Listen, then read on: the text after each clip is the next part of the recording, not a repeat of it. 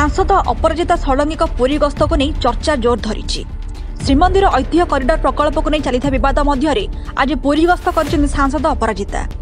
ପୁରୀ ଗସ୍ତ ସମୟରେ ଅପରାଜିତାଙ୍କୁ ଅଧାବାଟରେ ଅଟକାଇଥିଲା ପୋଲିସ। ଏକାଧିକ ଗାଡ଼ି ନେଇ ପୁରୀ ଯାଉଥିବାରୁ ଅନୁମତି ଦେଇନଥିଲା ପୋଲିସ। ତେଣୁ କିଛି ବାଟ ଚାଲି ଚାଲି ଯାଇଥିଲେ ଅପରାଜିତା। ପରେ ମାଳତୀପାଟପୁରରୁ କାର୍ ଯିବା ପାଇଁ ଅନୁମତି ଦେଇଥିଲା ପ୍ରଶାସନ। ପଛେ ପଛେ ଛୁଟିଥିଲା ସମର୍ଥକଙ୍କ ଗାଡ଼ି। ଅପରାଜିତା ପୁରୀରେ ପହଞ୍ଚି ସମର୍ଥକମାନଙ୍କ ସହ ବଡ଼ଦାଣ୍ଡ ଚାଲି ଚାଲି ପହଞ୍ଚିଥିଲେ ସିଂହଦ୍ୱାରରେ। ପରେ ଅପରାଜିତା ଶ୍ରୀଜୀଉଙ୍କ ଦର୍ଶନ କରିଥିଲେ। ଶ୍ରୀମନ୍ଦିରକୁ ଗଲାବେଳେ ଅପରାଜିତାଙ୍କ ଉପରେ ଅଣ୍ଡାମାଡ଼ ହୋଇଥିବା ଖବର ମଧ୍ୟ ଆସିଛି। ପୁରୀ ଗସ୍ତ ଅବସରରେ ଶ୍ରୀମନ୍ଦିର ପରିକ୍ରମା ପ୍ରକଳ୍ପ ନେଇ ରାଜ୍ୟ ସରକାରଙ୍କ ଉପରେ ବର୍ଷିଛନ୍ତି ଅପରାଜିତା।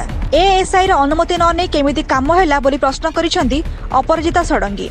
ଅନ୍ୟପକ୍ଷରେ ଅପରାଜିତାଙ୍କ ପଦଯାତ୍ରା ପାଇଁ ପୁରୀ ଜିଲ୍ଲାପାଳ ଅନୁମତି ଦେଇନଥିବା ଖବରକୁ ଖଣ୍ଡନ କରିଛନ୍ତି ସାଂସଦ। Bureau report NNS Odia.